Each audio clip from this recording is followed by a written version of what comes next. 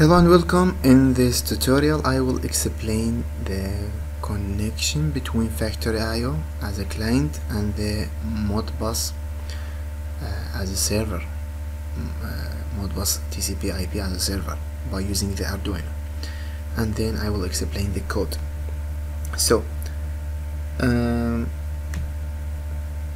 just for basic things you must go to drivers and then you must ch uh, choose the Modbus TCP client because you are client and the Arduino server. And you must go to configuration and set the IP and set the coil and set the holding register. That's enough. Okay then choose the right register you send with Arduino. So you must change the uh, register to your purpose okay? Never choose another register that, that you uh, don't know what they hold. So use the register that you sent from by by by the mapping I made for you okay? Then click the connect and boom everything okay. So after that you can switch to run. You say you uh, you watch the red indicator will illuminate so um, okay. I will click the button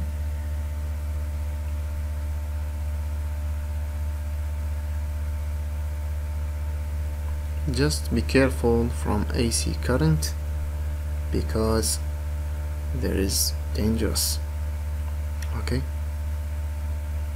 So after that we can uh, try the right. Okay? Uh, we can also oh, there's a problem with the AC power okay so we can um, try the analog. Third one the first one. Okay. Uh, we can use the screen. I I I don't know if you can see there is something change here but believe me that's change.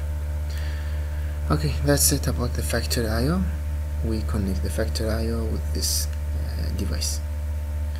So we don't need factory IO anymore. Exit. Um, then we don't need our panel.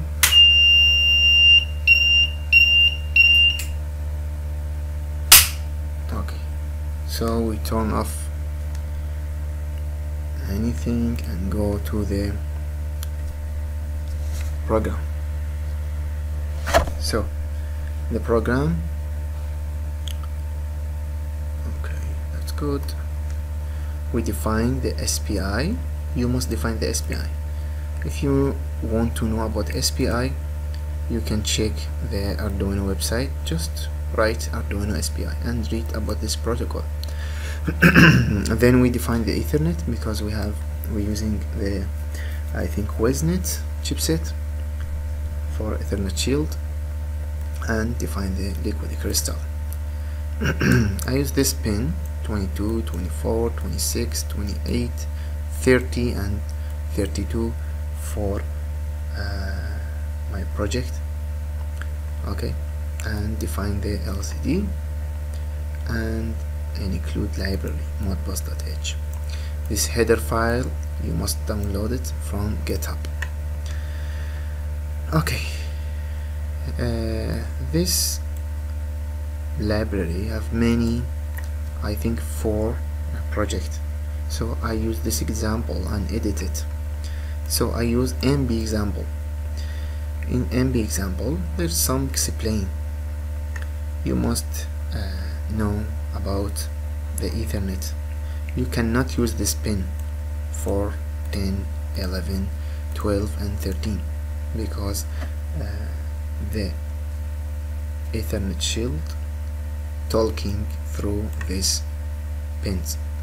So define my screen uh, define some MAC address anything and IP you you need it. If you change the class of IP please please please change the subnet. Okay if the class don't meet the subnet there is a problem. So make them uh, like you know class A or B or C. Everyone have a special subnet. So after that the ethernet will begin and some delay you can reduce this delay and pin I'm use for input 6 pin for push button and 4 pin for relay.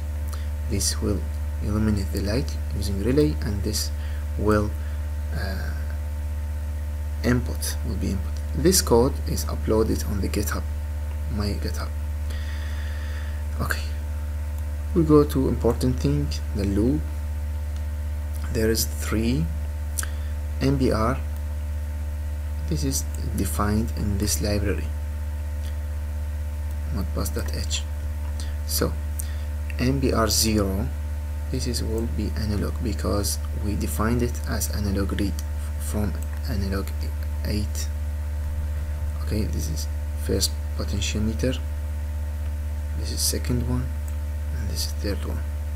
So this is register and this is real address hardware also for uh, analog output. I'm use LCD here okay? You can use anything you need but I use LCD LCD like solid state never change. Not like servo or or something. I just like it. So I use LCD set browser or something and set the place you need.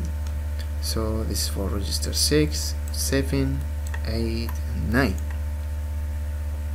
just like that. After that we will define MBRC for digital. We have digital input. If you write like that will be digital input. If you write like that digital write will be digital output. So I will read from 23 this will will, will send with this register. This pin with will send with this register. This six uh, six uh, push button. And this is for the relay. Just like that you can find the code on the github and you can make your change on it. Okay uh, in this video we have take a look about the factory IO and how to connect it with the Modbus and uh, take a look about the Modbus uh, program or Modbus software. So uh, the last video will be about the PID okay thank you